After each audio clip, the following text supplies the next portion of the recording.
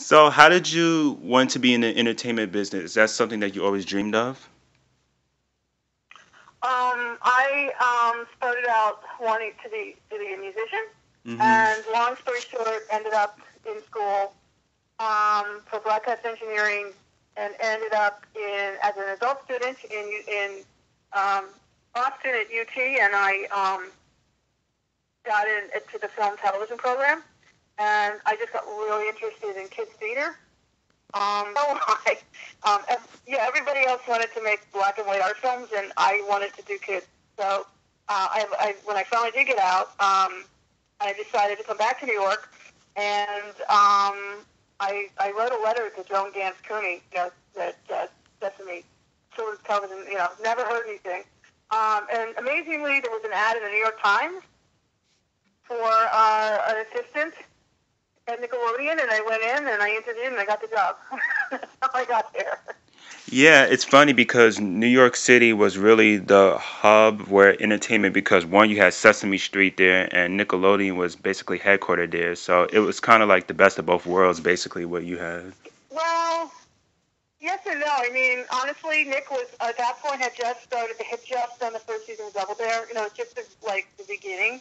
There hmm were only probably about 50 people there. Gerry, Gerry Laybourne. It was much, much smaller. Um, so I kind of hit it at a good time, I guess. Um, and then I really did want to be, a, you know, producer. That's that's so I did work in acquisitions, but it was cool. I actually got to work on a thing called Count Duckula, which was a spin-off of Danger Mouse. Um, and I also really got to see a lot of stuff that was being made around the world and learn a lot more about legal and deals and things like that than I would have if I just started, you know, as a TA or something. hmm So, um, so then I, did, I just I moved over to production. That was Geoffrey Darby's group. Um, and the very first thing I worked on was Finders Keepers, which was a game show. I guess they did it in Philly. I mean, it was like the second season, and there was a writer's strike. So hmm amazingly, we actually went out to LA. in LA, which is very unusual at the time. Right. So I remember yeah, Finders Keepers because I so it, remember. it was it was really uh, yeah, it was cool. I mean, it was a, it was a great place to be at the time. Looking back on it now, yeah, it was really really wild. Mm-hmm, mm-hmm. And at that point, um, Nickelodeon, they were kind of in a nut almost because they were had to find a hit show, but with executives like Gerry Laybourne, like and Geoffrey Darby, like you mentioned, they were really creative people who were had a viewpoint on what Nickelodeon, the kids network, and Double Dare was really kind of took them off when you got there. Is that correct? Yeah. Yep. All right. Yeah, I'm sure people will, will be happy to tell you all about the. We had a kids bill of rights. You know, um, you know, it was always kids first. You know, we had a. We just had a completely different outlook. You know, Mm-hmm. like someone like Disney. Oh, okay. Yeah, and we were always trying to upset everything and do everything, you know, uh, in a crazy way. Yeah. and like you mentioned, Finders Keeper, it had a writer's strike in the second season. So is that why the show didn't move forward at all anymore? I don't really know why. Um, to be honest with you, I, I, uh, I don't know. To be, to be perfectly honest with you, I mean, we had all these other shows. You know, we always had stuff going. Um, there might, I, I wouldn't have probably been privy to that information. Maybe they just want to come up with new things. I don't know. Maybe the ratings weren't that. I don't know. Right. We did do a pilot in LA with um, some people in, in uh, from from the UK, which turned out to be really cool because years later, when I went to UK, I worked with the same people to do um, a show called Get the Picture over in in, uh, in London. So that was kind of cool for me. But I don't know what they. I mean, I think it was pretty successful, but I, you know, Mm-hmm. All right. I uh, there was also that was in between. That was like in between. You know, Nick Studios wasn't up, wasn't around yet. You know, No, no, it wasn't. Yeah. All right. So, uh, speaking of Nick Studios, when you first heard the idea, was it something that that was in the long running for everybody at Nick? Was it something that was a long discussion that they wanted to create a studio centered for the network? Um, I mean, I couldn't begin to tell you when I first heard about it. Um, it was obviously something they had planned to do. Mm-hmm. Um, I mean, I'm sure I knew all about it. You know, it was a long time ago. and you also have to remember that a lot of us, like I, I had gone down to Philadelphia to work on shows, you know, so you were like, we were usually working like madmen, you know. Right, um, right. But yeah, I mean, they obviously consciously decided to do this as, you know, an attraction, an anchor, you know, which was a great idea. Yes, absolutely. I do know absolutely. to tell you that I was extremely excited um, because at the time that we finally, when they finally shut me down, um, we were doing Total Panic in a studio in New York and Chelsea. And I, Mhm. I'll never forget this. We had something with this reindeer, and I was like, "Oh, "You'll be able to get the reindeer in," you know, kind of thing. and you know, you you had to go to studios and places, and you know, they, you also have to remember that um, at that time, um, you know, California, LA, that was like you know, unions and guilds and things like that, you know. right. And the Florida is a work, like work state. You know, that was a whole. It was going to be the third coast. You know, kind of a little bit like Austin, and also maybe a little bit like um, you know North Carolina. Mhm. Yeah. I mean, they play time. I mean, you know. Yes, yes. And uh, basically Orlando and Florida back then, it was kind of gearing up to become a major film industry where it's basically known as Hollywood East at that point. Was so that was that a good time and an effort? Yeah, I think that was the idea. Yeah. Yeah, but it yeah, they were gonna. Well, they had MGM studios over at Disney and you know Universal. yeah. Um, obviously theme parks are huge there, but yes, it was gonna be a real production. Yeah. Mhm. Yeah, and by that point, Total Panic and Double Dare, they were both being stationed in Philly and New York, and then they decided to move to Orlando to shoot down there. Um, what was your first impression of the Nick Studios when you got there? Um, oh, it was cool. You know, I mean, it was all like state of the art. Mhm. The time, you know, B two, that was like a big deal. Digital tape, you know, it was um, yeah, I mean, it was cool. It was also um very exciting to be at you know a, film studio, you know, which is what Universal was. Mhm. You know, there, was- there was a really clear line for people like me between you know the working studio and the theme park, you know. Right, right. So that was, that was cool. Yeah, I mean, yeah, and I mean, you know, it was like we were gonna have like our own studios. We could do whatever we wanted. It was really exciting. It was Mhm. really exciting. You Yeah. know, because when do you get to do that? You know, and and we had like a you know really great, you know, tight knit group of creative people. You know, and Oh, um, you know, we were constantly making stuff up. So. And the coolest thing of all was um, once once we got you know once we got up and running and everything opened, you know, we had kids everywhere, mhm. which was great. 'Cause, uh, you know, uh, most of the time, if you're off shooting something somewhere, you know, you, maybe you have kids in an audience, you know, you don't see kids every day, you know. So that was like really cool. That Yeah. you know, I could be doing something and I could just kids in it, saying, "What do you think of this?" You know. That Yeah. great. Yes, absolutely. I mean, the kids, they were basically the ones in charge of the network because back then, Nick Studios, its tagline was the world's first headquarters for kids, and that's what it was made out to be. So I could definitely understand that kids were everywhere and excited that Nickelodeon had a home almost, you know? Yeah. hmm Yeah. Yeah. What was a typical day like being there at the studio? Because I wanted to know how many shows you guys taped a day for Double Dare or whatnot. Well, you know, I mean, it varied on the, by the shows, and I didn't actually do a lot of double dares. I did, um, I did some specials, um, and uh, was probably after we'd been there a couple of years, probably. Um, and I think it was we did something with the NBA. I was into doing stuff with the NBA. Um, Can't remember the Mark would remember this, and um, Mark was Mark was really excited because we got a new wardrobe. but um, so I, you know, I didn't do. Uh, I didn't do a lot of double dares. Uh, um, Angie Bartenbach did did tons of double dare, but I did. I did variety shows. Um, I did do a lot of game shows. Um, I also worked with people, you know, doing pilots and ideas like that. Um, I mean, what happened was, you you know, game shows were very inexpensive, relatively inexpensive, and you know, there was just kind of almost this formula. Um, and if you you know, you'd be under pressure to do, you know, if you were in the run, you know, you'd be doing four a day. It was crazy. So, Mhm. You know, you didn't do that every day for six months, but you might be, you know, so you would go through cycles where you'd be gearing up, the show would be gearing up to go into, into production, and then it would just be kind of a blur.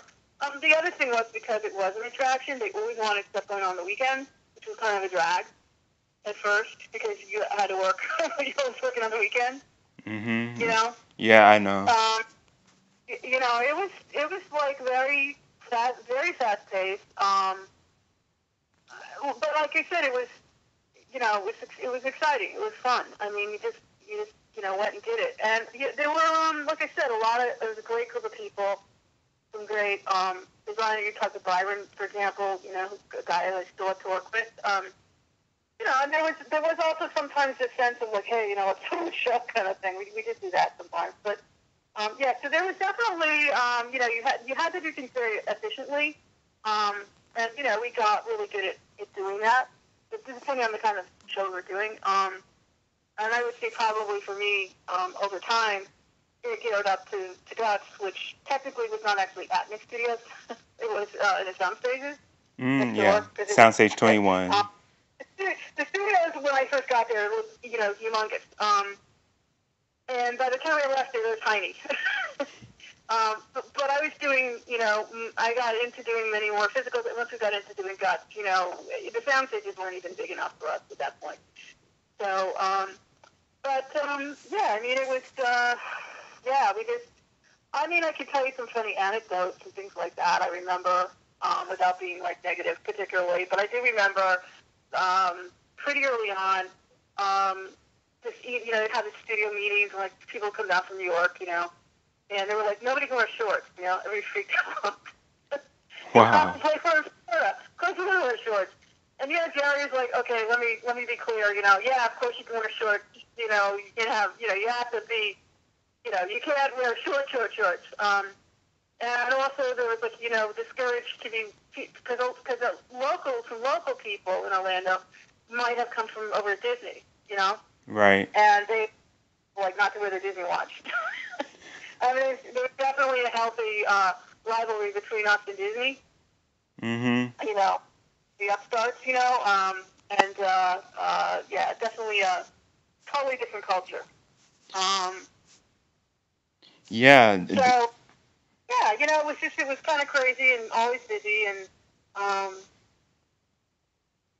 Yeah, a healthy competition because um, Disney and Universal was competing back then, and was certainly with Nickelodeon on Universal side. It was, I can definitely understand why you could say, yeah, we were kind of well, competing with Disney Disney. and Nickelodeon are still competing. You know, that's what they. Yeah, oh, definitely. But I did mention when you said, um, "Hi, honey, I'm home." You worked on that too, right?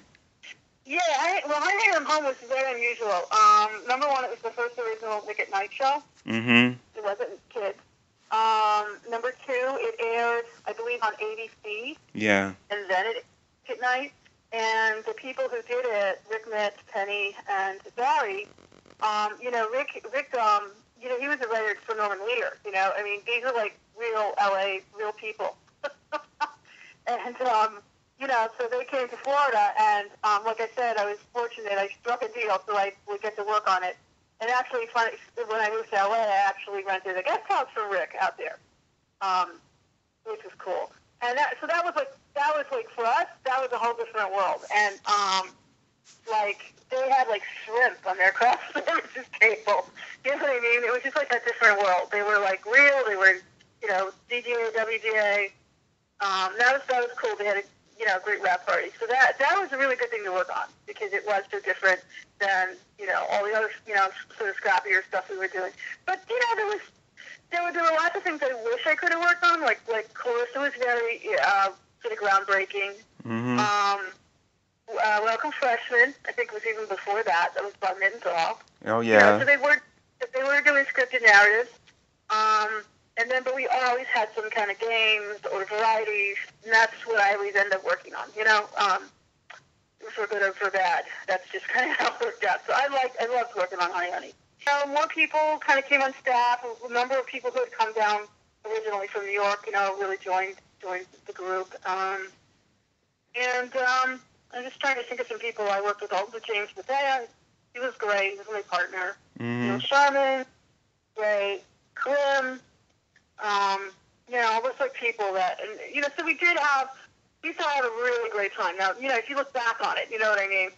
So Right, we right. really, so hard. Um, and um, I do remember the like I think it was maybe our first Christmas.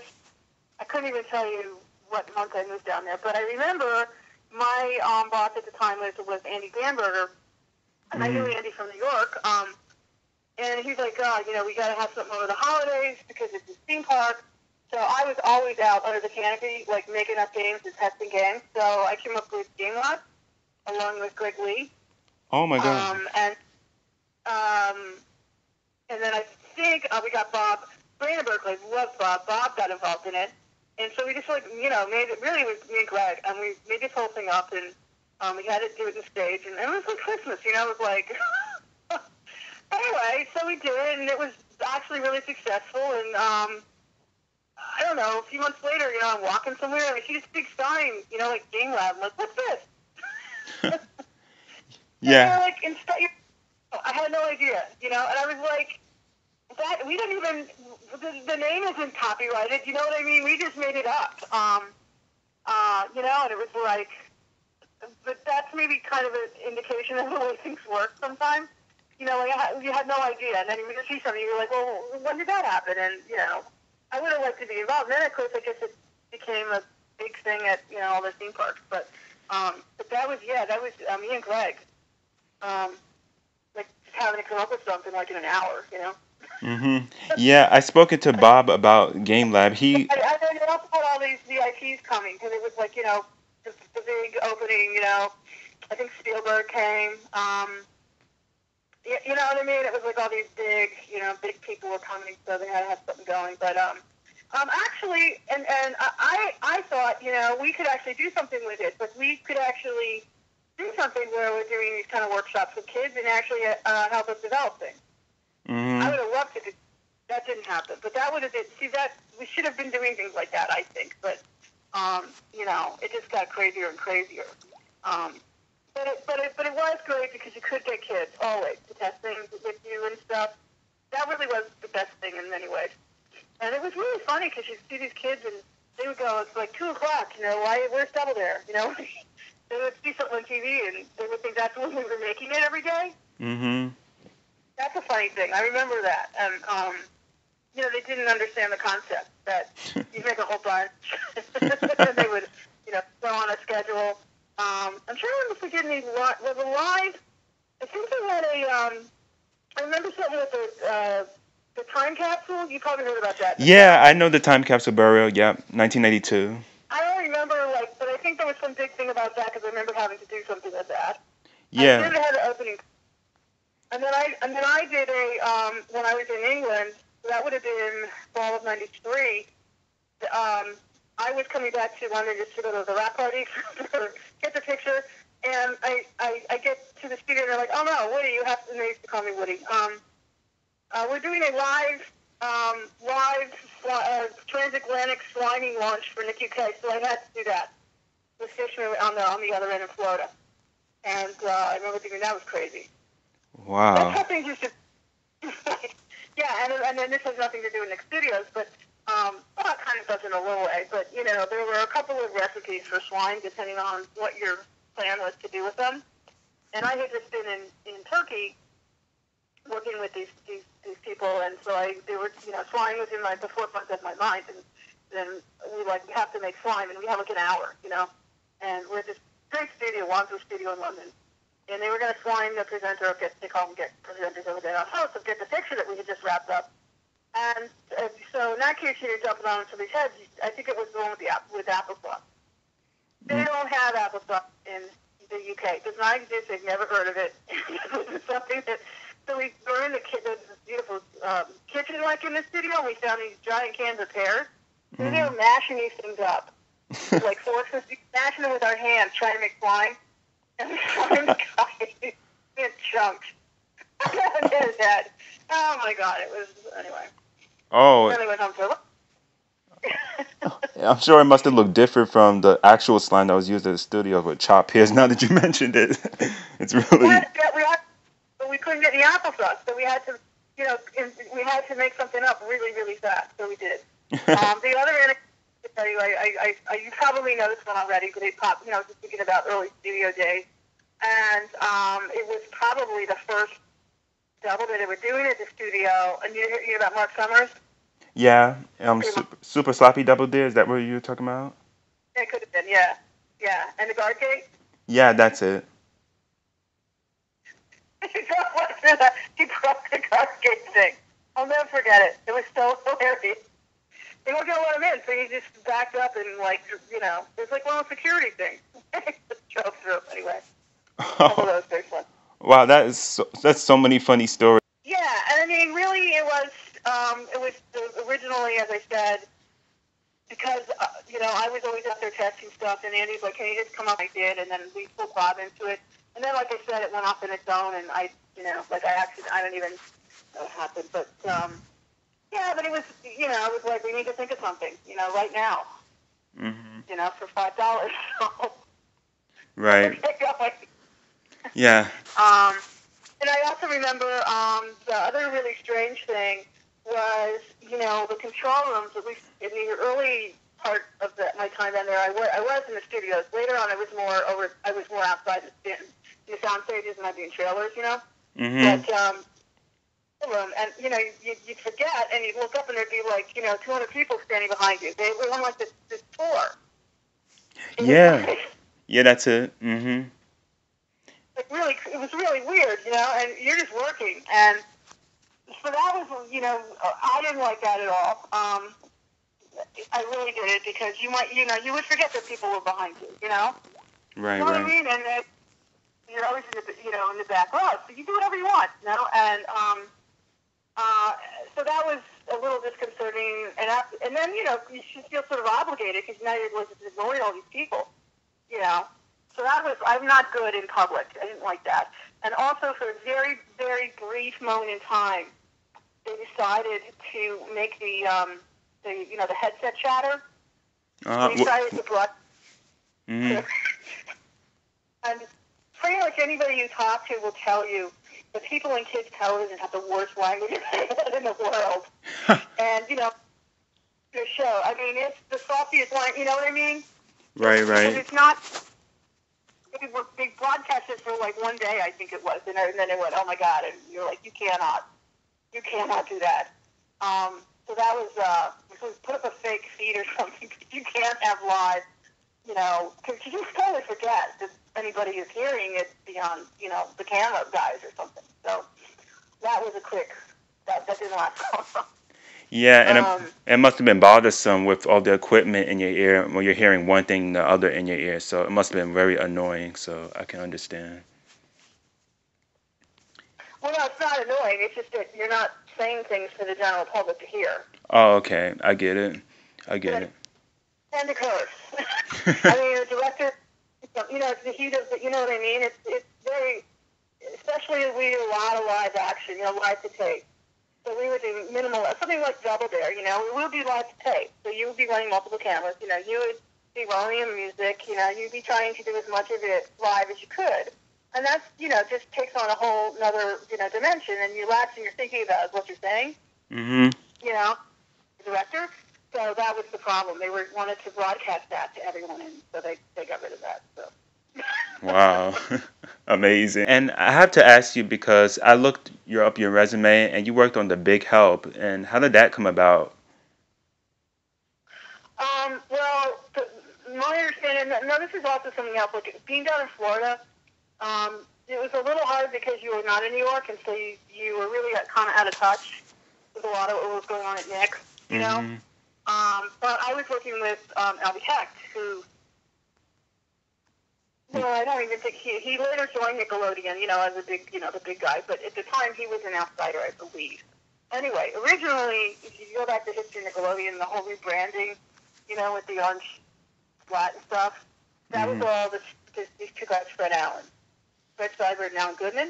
You've probably heard of them, right? Yeah, I have. Have. Mhm. He- Fred Seibert, uh, World- Worldwide Frederator, he's a huge uh, animation guy, and he went on to do Hanna- Hanna-Barbera. Anyway, Fred Allen, they were in New York, and actually Albie worked with them early on. Um, and um, Alan Goodman, uh, I know, you know, there was actually they were, you know, were looking to do things, um, you know, sort of corporate responsibility and with kids and everything like that.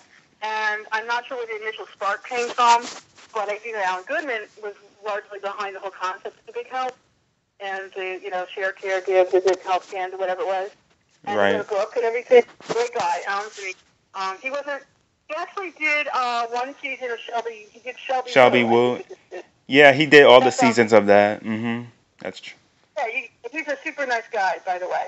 Um, so he could inevitably give you uh, a very good history of the Big Help. Um, but for me, um, I was um, living in LA, but I was doing guts in Florida, and I remember this because I wanted to work on it, but I uh, couldn't get back to LA until September because of guts. So I came back to LA, and the first, the very first, they decided to do the Big Helpathon Mhm. which is absolutely. So we did that on the back lot at Universal, and I did a block party for five thousand people, and um, it was the craziest thing I ever did in my life, and it was absolutely thrilling and great. And I know there were a lot of segments that were done down in Florida. Um, I didn't do any of that. I, my whole involvement was in the on LA. Um, Okay. Uh, and also, Nick Toons had just started up, you know, while we were in Florida. So, like Ren and Stimpy and, you know, all that stuff. And that was on LA. So, the Nick Toons people were involved. So, um, yeah, I, so, you know, that's the big help started that year. I actually worked on, oh, at least the first three, three of them. The, the biggest one was the first year. Um, and the block party was so cool. The next year, they decided to do the whole thing out. And this was in uh, the New York backlot at Universal in, in, um, in um, Hollywood. Um, and it was cool. I don't know if you were how old you were, but if you ever saw that, that was um, kids called in to pledge time. Oh yeah, I and- do remember that. Yes, I do. We were blown away because we, you know, we got like millions of that. We just couldn't believe it. The response was so great, and we worked with a lot of partner organizations, uh, Second Harvest, Big Brothers, you know, all these different groups. Mhm. Um, so that was a, that was a that was a really really great experience, but it, it was not related to Florida and Expedia for me in any way. It was all LA, but I know they did a lot of stuff down there. Al, Albie like executive produced all the big help, that big help stuff. Um, Mhm. so that was um yeah that was that's like legendary. the first one particularly Right. and and and Gary flew all these people out from New York to to help who worked because I was I was I was freelance by then. You know, they actually pay me to do it, but um, I was always asked would I volunteer. I said no. They have to pay me. Um, yeah, so that was that was that was great. That was really cool. yeah, That it was. But that, that and then the next thing would be Global Guts, which is the craziest, absolutely craziest. Uh, we were out of our minds, but we did it. Yeah, I was just I was just about to ask you that. Like, how was Guts and working on that show? That was like one of my favorite shows as a kid because that show was just extravagant and mind blowing things happening. Like, but it was really a good show.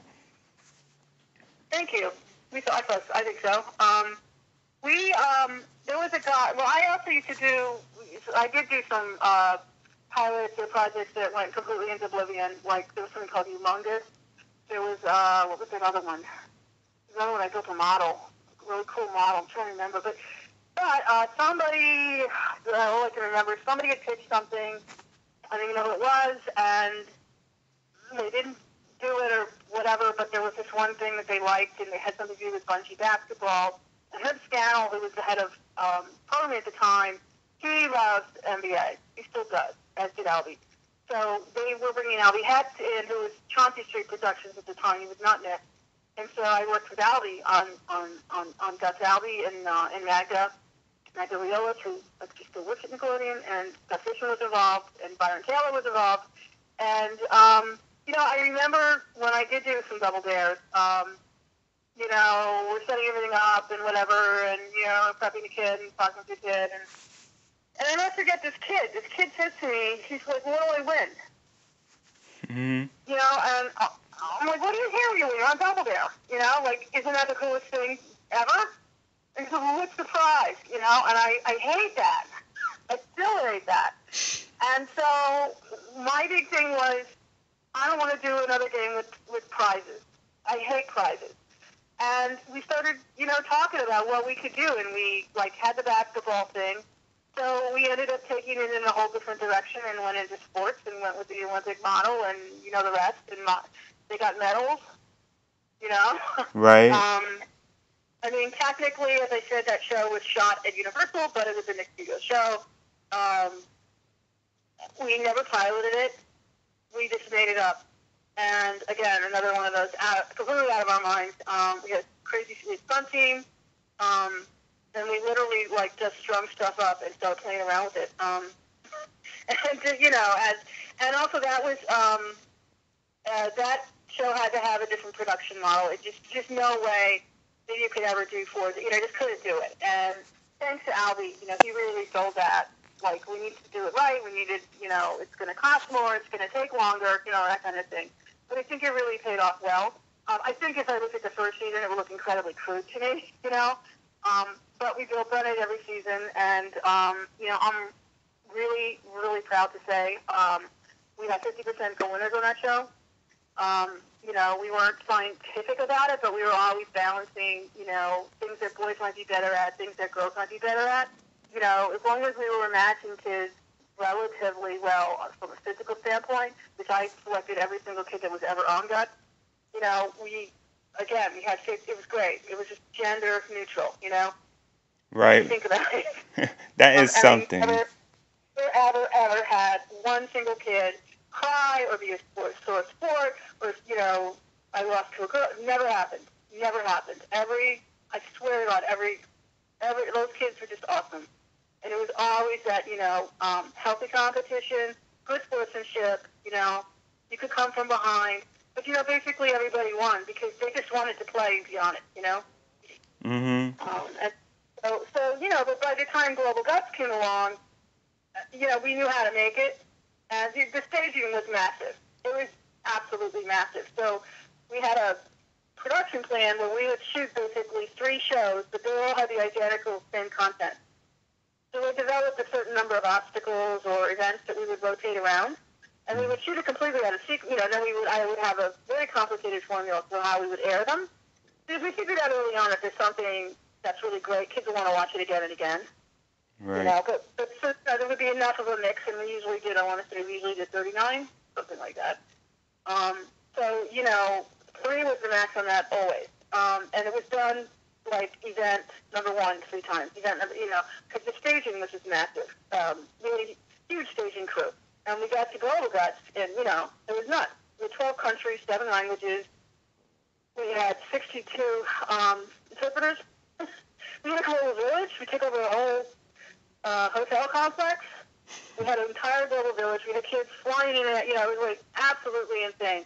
Um, and we, I don't know how we did it, but we pulled it off. right. But then six years ago, you got to be on My Family's Got Guts, which was another variation of Guts, and at that point, the studio had closed. So, what do you remember Oh, best yeah, about yeah. working on that? What do you remember best about working on that? And was it like a different atmosphere to see that Nickelodeon was kind of not there anymore? Oh, it was it was like weird. First time I went down there, I Mhm. hadn't been there since Global Guts. I never went to visit Orlando. Um, why would I, right? um, so I to, when I left, you know, everything was still humming along. Um, you know, uh, it was extremely weird. You know, really weird. Um, it's sort of like this, you know, forlorn sort of ghost town feel. And I think they had like Blue Man Group or something in there. Yeah, they still do. boggles my mind how how they how this didn't succeed. Honestly, Mhm. you know, like how could Nick Studios not succeed? Come on, Right, right. that's a great idea. I mean, so I could give you a lot of my opinions. I'm going to try not to do that, but I mean, you know, yeah, Um, it was very weird. But this is a po- a popular fun question. Were you ever slimed at one point? Did you get the green slime on you? No, Ever? never. Never. So I Oh. didn't think about it, and I can, you can ask anybody who knows me, and they said she would have killed us. Yep, you're right. No, I would not get. You're not slimy. Oh, I remember we had to go. We had they started having these Nick golf tournaments. mhm. Oh, that's that's interesting. I don't play golf, right? And they and it's like you have to go. I'm like, I don't like golf. And uh, I, it's the only time I ever went on a golf course, and it was like 100 degrees, and I had just quit smoking again. Mm-hmm.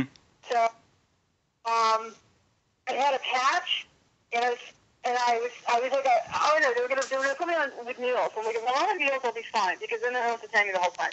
As it turned out, they, they didn't. They put me with these three people I didn't know at all. Right. Um, who wanted a show, you know what I mean, or something like that, that kind of thing. And I'm like, I figured out after like an hour, like we never got close. You know, everybody always stayed the same. Ah, it was horrible. And they ended up running out to me in a special like gaffer's tape to tape my nicotine patch on because the woman I was stuck with was chain smoking. Mm-hmm. I, I'm stories of the Nick. Wow. but they had that, and everybody had to go. I'm just trying to think. We had they had some crazy, we had a crazy Christmas party. Oh yeah. guys. Yeah, I always hear that from people. Their parties were amazing. They had really crazy ones in New York, so they never quite measured up to what. Because we used to you know, as MTV, we'd have crazy parties in New York. I'm just trying to think of stuff like that. Um, and you know, we all we used to all hang out. You know, we had this group of, as I said, it was a really great group of people, and we'd hang out all the time. because mhm. you know we all came from somewhere else, and we basically just worked all the time, and um, you know we really we had a great. We, I had a lot of fun. I really did, and it was the only way because you know you were always working hard. Well, we did when we did Global Guts, in addition to everything else, which was you know tryouts, producers from all around the you know all this stuff we had to do. Um, they they were like they had a whole synergy with Paramount, right? So Mhm. the Paramount, we for our our American kids, we did a cross country global guts uh, tryouts at Paramount theme park.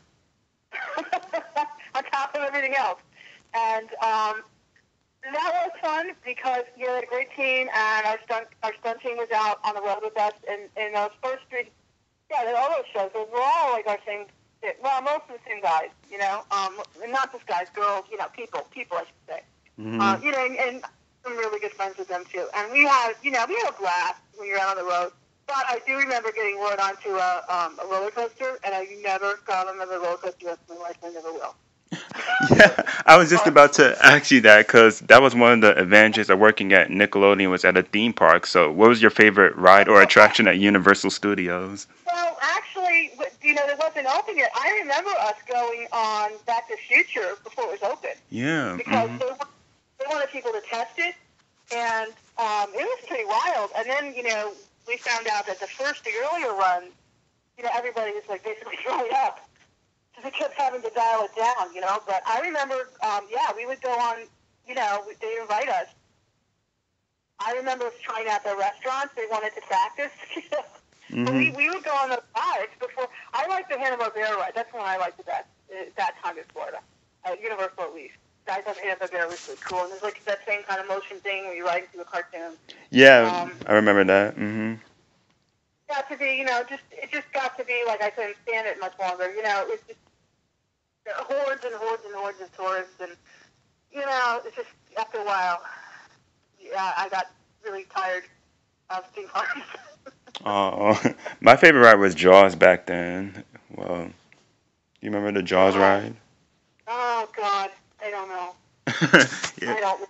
But I do remember earthquake uh, hmm because when I was right, there was a Northridge earthquake, and actually that was interesting. The day, the morning, the Northridge earthquake was like 4:30 in the morning. I was in LA, the very top of Laurel Canyon, with Mrs. guest house, and I was actually that day I was supposed to be starting. Um, must have been guts three, maybe it was Global Guts. Uh, uh, in LA, I was going to the uh, the black the Texaco building in, in uh, Universal City. And I, was, I remember that, and we put it off a week because of the, the earthquake. And I heard they did have to close the ride down, but mm. right. um, yeah. So I mean, it, you know, and then, and then the, well, now the park is like, you know, it's huge. It's so much different. I have to say, you know, oh, definitely. I was last month where they had an open Harry Potter world, which I hear is really cool. Yes, So- I've been waiting to ride that, so I just I definitely have to get back there. Yeah, but I just have two more que- I just have two more questions for you. Um, Nick Studios, it's been gone for nine years now. Would you like to see it reopen one day? Do you think it should come back? Um, I don't know. I don't have an answer to that. Mm, I mean, I think it was a great idea. You know, I think it was a great idea. It's a, it's a great place to have kids. I would have to say that the kind of programming that Nick does now, I don't, you know, they don't make all their own. You know, we used to make our own stuff. I think the model is completely different now. You know what I mean? Oh yeah. Um, I, you know, I mean, we really made shows there. That's why. That's what we did. And now, you know, now that it's just such a different. You know what I'm saying? Atmosphere. It's a different You network. wouldn't be live action. Yeah, you wouldn't. You know, they're, they're you know, uh, they do do lots of animation.